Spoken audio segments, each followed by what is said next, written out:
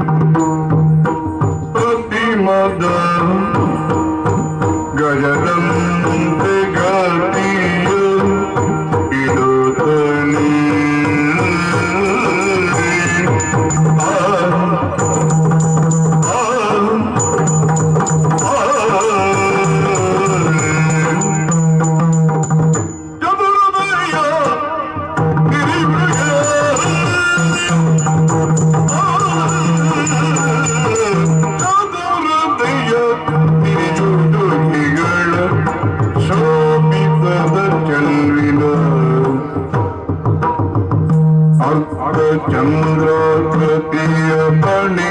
कस्तूरी तिलका कस्तूरी तिलका भूलते भामिनी कति हरुष दया